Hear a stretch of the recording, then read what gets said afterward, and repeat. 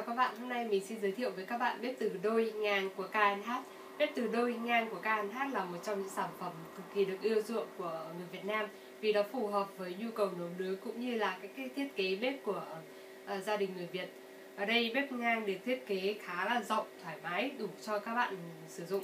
Với chiều ngang của bếp là ừ, 60cm, chiều bề rộng là 33cm và chiều cao bếp là 7cm và bếp còn được thiết kế là các bạn có thể đặt bếp dương như thế này, hoặc là khoét đá đặt âm bếp, phần âm sẽ tầm khoảng 6 cm về thiết kế của bếp thì à, mặt mặt phía bên trên của bếp từ KNH được à, làm bằng kính chịu lực và chịu nhiệt. Ở đây, với à, ở đây thiết kế của KNH khá đơn giản và dễ sử dụng thì bạn có thể nhìn thấy là hai cái vòng tròn thể hiện ở hai bên, đấy là cái mặt nấu và bảng điều khiển là bảng điều khiển cảm ứng có ở đây bạn nhìn thấy là 17 9 à, con số để bạn có thể lựa chọn mức nhiệt. À, tuy nhiên thật ra là bạn có thể điều chỉnh đến 17 con ờ, à, 17 mức nhiệt. Và chút nữa mình sẽ ờ, chỉ ở cái phần hướng dẫn sử dụng sau. Còn ở phía sau của bếp từ KNH thì ở đây các bạn nhìn thấy là được bọc bằng nhựa. Ở hai phía bếp bếp tương ứng sẽ là hai cái phần quạt gió và mình muốn lưu ý các bạn ờ, một cái lưu ý cực kỳ quan trọng ở đây trong việc sử dụng bếp từ. Thì đối với bếp từ KNH thì cái phần ờ, bề ngang là cái phần mà để thoáng gió để làm mát động cơ bên trong. Thì nếu như mà bếp đặt âm thì các bạn nên lưu ý là lúc mà thiết kế bếp sao cho khít được các cái, cái khe mép bếp để làm cho cái nước những cái nước mà khi các bạn nấu nướng làm vô tình giọt ở trên bề mặt bếp hoặc là do các bạn nấu làm cháo bếp thì không bị lọt vào bên trong làm cho động cơ bị cháy hoặc ngay cả khi các bạn à, đặt bếp dương như này, thì các bạn cũng lưu ý là lúc nấu nướng mà nước bị trào ra hoặc là nước bị chảy ra thì có khả năng sẽ rất khó, có khả năng lớn là có thể lọt vào bên trong này. Vì vậy các bạn hãy tìm một cái gì à, vật nào đấy để à, chắn hoặc là làm hạn chế nước có thể chảy ra phía sau và lọt vào động cơ của máy. Và giờ thì mình sẽ hướng dẫn uh, chỉ uh, sơ qua các chức năng chính của bếp từ KNH. Thì đầu tiên các bạn nhìn thấy phím khởi động ở đây, các bạn chạm vào phím khởi động thì bật bếp lên và sau đó các bạn lựa chọn uh, bề mặt bếp nấu. Mình chọn bếp bên bên tay trái rồi chọn mức số là cái mức nhiệt mà các bạn muốn. Như đây mình chọn 8. Tuy nhiên thì do là bếp từ là uh, bếp từ KNH cũng có chức năng là nhận diện nồi lớn nên hiện tại trên bề mặt bếp không có nồi bếp sẽ ờ, biểu hiện cái chữ e ngược này, có nghĩa là lỗi. Có lỗi có nghĩa là không có nồi trên này. Giờ mình sẽ đặt ờ, nồi lên.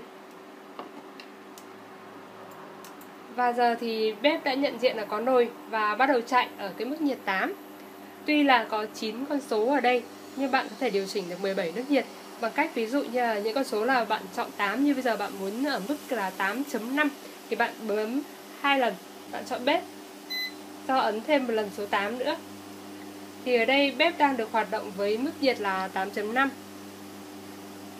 nếu như, ở đây là mức 7 bạn chọn bếp sau đó bạn ấm hai lần thì ờ, sẽ là, bếp chạy ở mức là 7.5 các bạn luôn lưu ý là muốn điều chỉnh bếp thì phải chọn chạm vào bếp sau đó mới điều chỉnh các cái con số. Thì các bạn có thể nhìn thấy là tác động của bếp từ rất là nhanh cho nên là với bếp từ là nấu nướng cực kỳ là tiết kiệm năng lượng, tiết kiệm thời gian và bạn sẽ không hề thấy nóng. Ví dụ như là bếp và nồi ở ngay đây, mình đặt bàn tay ngay cạnh bếp này nhưng mình cũng không hề bị nóng. Và ngay cả nồi của mình, mặc dù là đã có bọt khí, cảm giác nước rất là nóng, nhưng mình vẫn có thể đặt tay ở đây bình thường không nóng.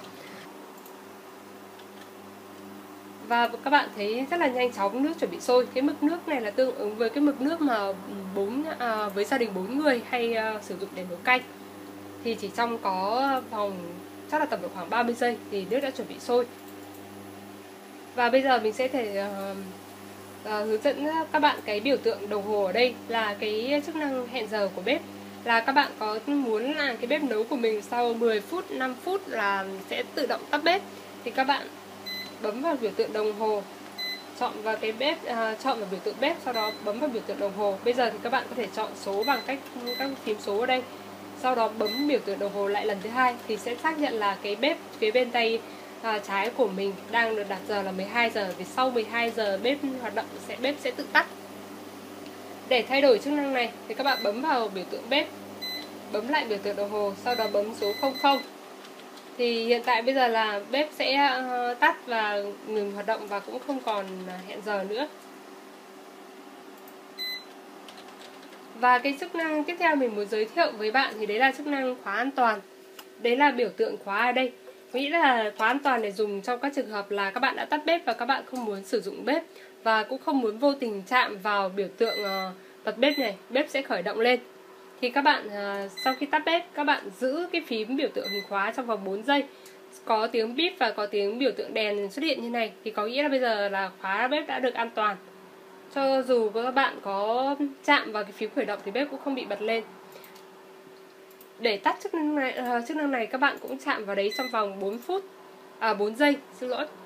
Thì uh, bây giờ các bạn có thể bật bếp lên như bình thường. Như này. Và mình thêm nữa là bây giờ mình đã tắt bếp như bạn sẽ thấy vẫn thấy cái biểu tượng uh, chữ H nhấp nháy ở cái bếp bên tay um, trái của mình như này. Đấy là cái thể hiện chỉ số nhiệt dư ở đây.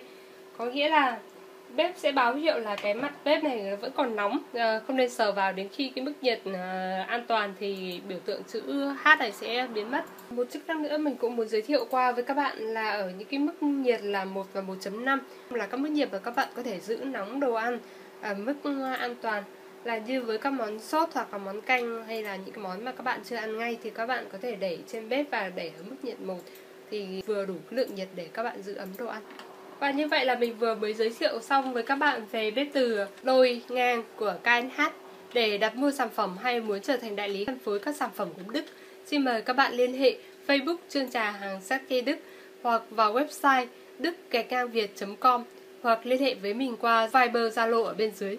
Xin chân thành cảm ơn các bạn đã xem clip.